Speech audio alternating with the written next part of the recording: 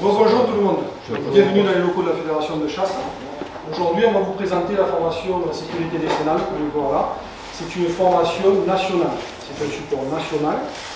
Donc la Fédération départementale n'a rien rajouté, c'est quelque chose qui sera projeté sur tout le territoire national.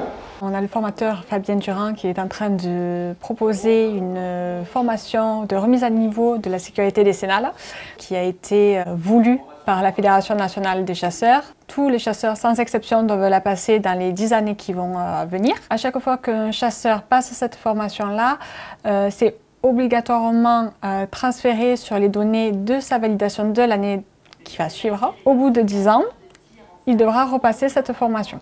Pour l'instant, on est en formation présentielle et va suivre prochainement une formation du coup par vidéo qui se connecteront sur le, site de la Fédération nationale. Ils pourront le suivre. Ils auront trois mois à ce moment-là pour suivre la totalité de la formation de chez eux, donc du coup à distance. Et l'attestation leur sera remise également à ce moment-là.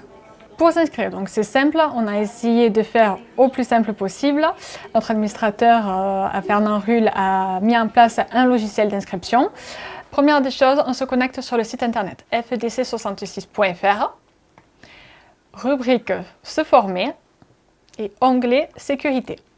Il y a un petit historique et le lien se trouve ici.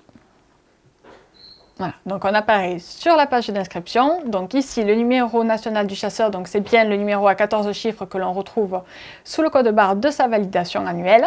Donc le numéro de chasseur, la date de naissance et connexion. Donc première chose, c'est de choisir le centre de formation que l'on souhaite.